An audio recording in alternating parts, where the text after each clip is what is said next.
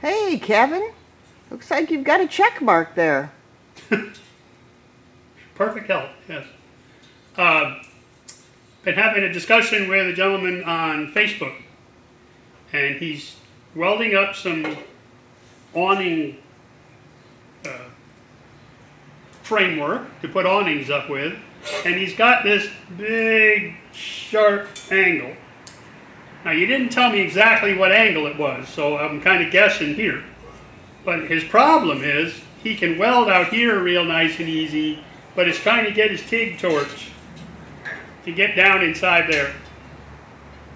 And the way he, you know, what he showed me, it was probably a little more angled than this even, and he just can't get down in there.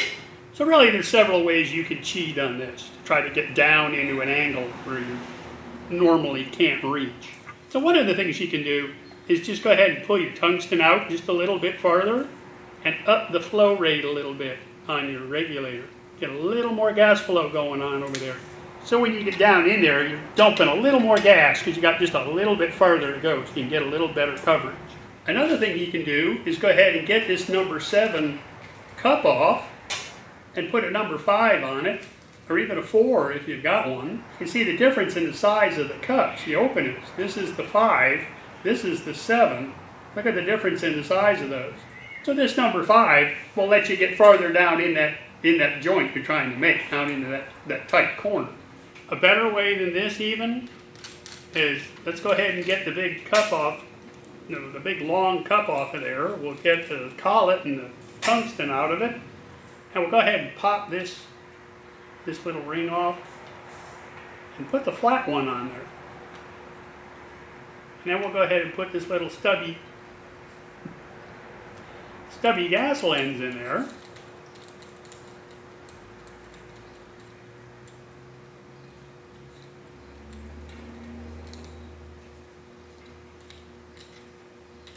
Put the cup on the right way, I know.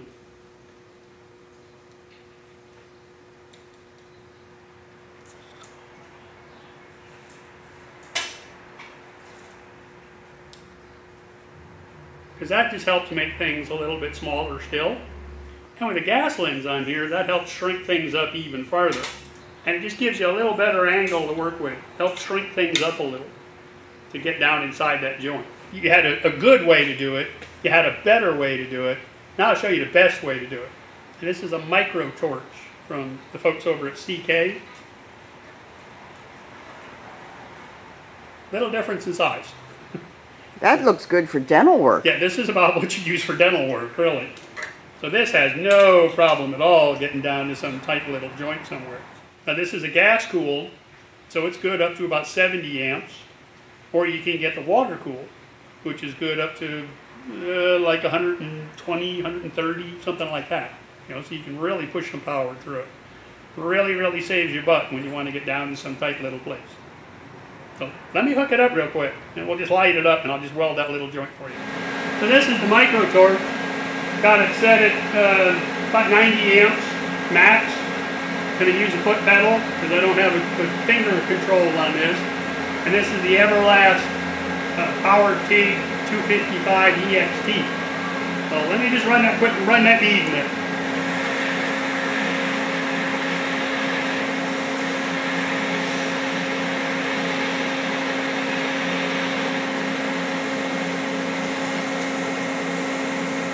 So that gives you several different options how to get down into the tight joint like that. You know, one other thing I thought of while I was sitting here welding was, well, if you're using your regular torch, you can always take a little piece of scrap and make a little dam. You know, to block off one end of it while you're working up inside there to keep the air from blowing through, help keep your argon down in there. You know, you can dam it on one end or the other. You know, you just got to play with it. Got to figure out how to do it. Start with your scrap then figure out, then come over and work on your piece.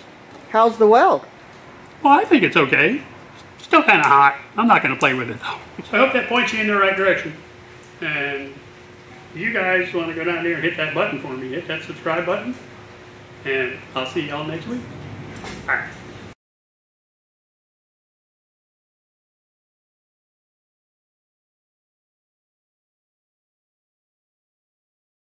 One of the things you can do is just